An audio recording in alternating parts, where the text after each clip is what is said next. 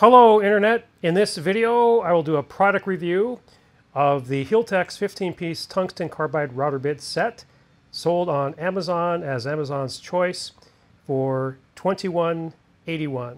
Keep watching. Welcome to Scott's Garage. Welcome literally to my garage. Whether it's working on a car, a daily driver, or a project car, or a project around the yard, or a home improvement project, all of my do-it-yourself projects begin here in my garage. Scott's Garage is a place for do-it-yourselfers. Welcome to my channel. Okay, it's made in China, that's why it's 2181. And who knows how the bits will hold up, but there's quite a bit here. Comes in a nice uh, carrying case. And these are quarter inch router bits. And comes with a little Allen wrench for tightening some of them, apparently.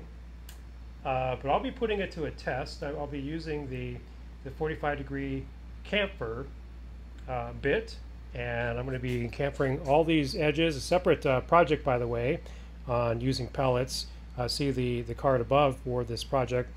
Uh, so I'll put it to a good test. Stay tuned.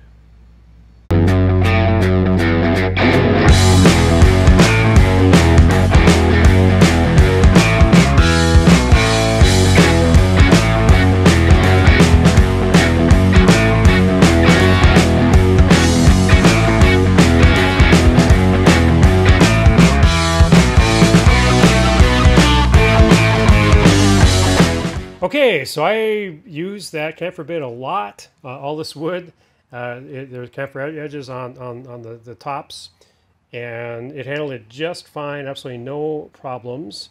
Uh, well worth the, the price. I mean, very inexpensive uh, to begin with to get an entire kit like this 15-piece set uh, for that price is, is very incredible. But not only that, uh, it, it, it worked, and it lasted. It didn't fall apart, and so I would recommend um, getting this.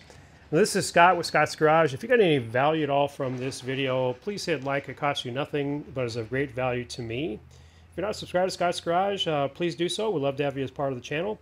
And as always, have a great day.